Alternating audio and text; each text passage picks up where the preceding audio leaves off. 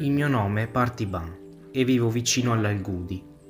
Circa sei anni fa ho avuto un incidente che mi ha portato ad amputare la gamba.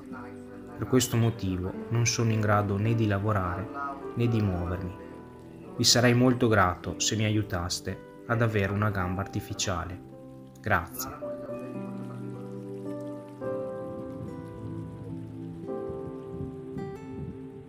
Il nome di mio figlio è Sridhara e frequenta la terza elementare.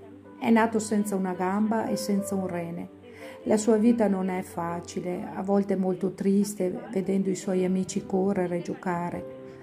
Vi chiedo di poterlo aiutare in qualche modo a avere una vita più semplice, più facile.